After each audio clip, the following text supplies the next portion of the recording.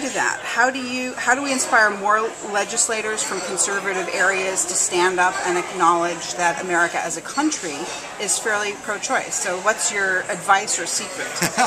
I know there's a secret, but I think the thing that people want to know is where you stand on these issues.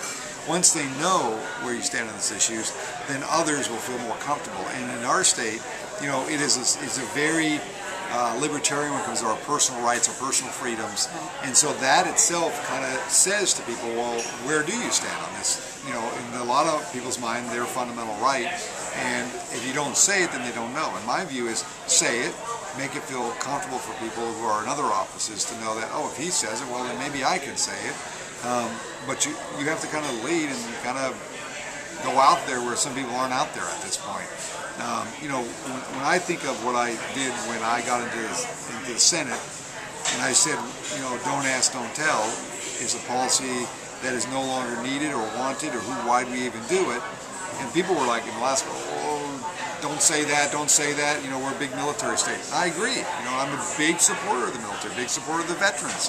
But at the same time, it didn't make any sense. And, and, the most amazing thing happened. Once we started talking about it, and the minute we got rid of that discriminatory clause, never heard another word. Because what would you hear before? Oh, it'll ruin our military readiness. Things will collapse. We won't be able to fight another war. We won't defend our country. I mean, I, right? This is right. all we heard. Well, we've been engaged in a lot of conflict since then. And I would say our military is still the best in the world, and I don't think it's had a negative impact.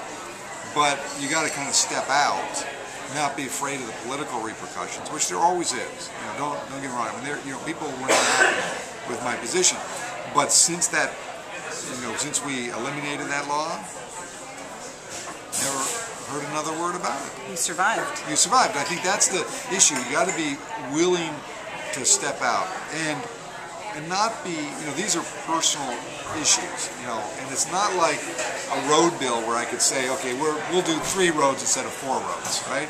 Well, if you're pro-choice, you're pro-choice. It's not like, well, I'm kind of there, or maybe not.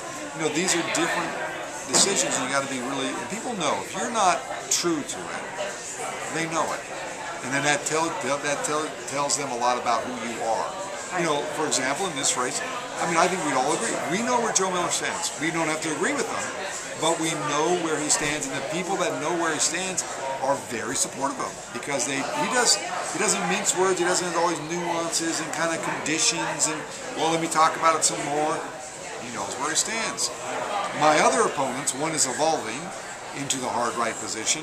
One doesn't want to talk about his position and has nuances that every time he has a nuance, you kind of look at him and say, well, I'm not getting a clear picture, so I'm not sure then where you are on other issues that you state. And I think that is, I think in Alaska, for elected officials around the country in tough states, is don't be afraid of where you stand. You may lose your election. You may lose your election. But if you don't step up, then who's going to step up?